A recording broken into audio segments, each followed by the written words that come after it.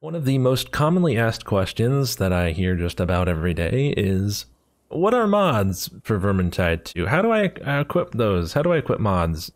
It's not working. Help me. So because this seems to be such a big confusion for a lot of people, I figured, hey, why not make a little video about it? Today, we are going to subscribe and enable the mod Numeric UI.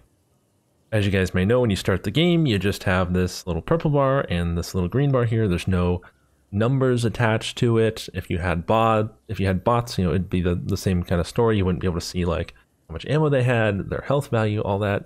You can just see like the green bar and the white bar for temp health. Numeric UI is going to give us uh, number values on everything. And I'm going to show you guys how to equip that right now.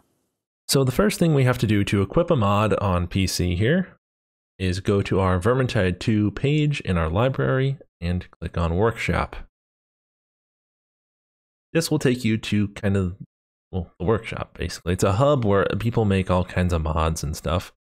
And you have different filters like UI based mods, quality of life based mods, game modes, cosmetic, etc.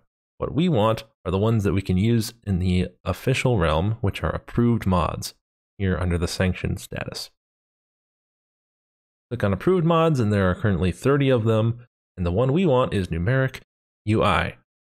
If you click on it here, you will notice that this button right here has a little plus sign. We are not subscribed to it currently. You want to click that. A little check mark will appear. We are now subscribed to numeric UI. This doesn't automatically enable it. This simply just puts it in our mod loader. One thing to notice over here, the required items. These are going to be other mods that you need to run the mod that you really want to run. And in this case, it's Vermintide Mod Framework. And this isn't at all uncommon to see. Vermintide Mod Framework is the basis for pretty much every mod in the workshop. You're going to need it to run anything useful at all. So go ahead and subscribe to this one as well. We can now head back to our library and start the game. Our launcher will appear and we want to head to the little tab at the top called Mods. Click that and we want to find the mod of Numeric UI, which is right here at the bottom because it's our most recently added mod. As you can see, there's a little white box next to it. You're going to want to click that, checking it, enabling it. This is what allows you to use it in game. Now, remember that mod I mentioned a little bit before, Vermintide Mod Framework?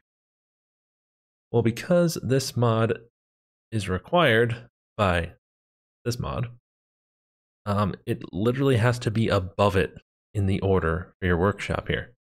So if I were to move numeric UI ahead of Vermintide Mod Framework, you can see right away loaded before Vermintide Mod Framework. This will not let the mod work in game. Not going to let it happen.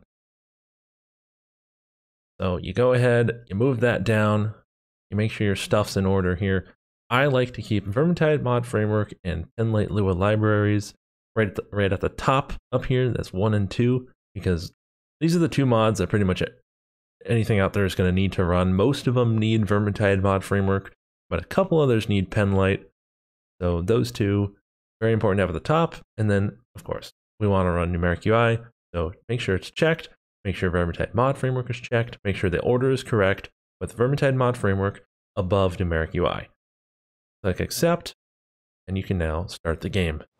And would you look at that, now we have 150 out of 150 for health, and if we use our ultimate ability, we have the timer, 1 minute and 21 seconds, and counting.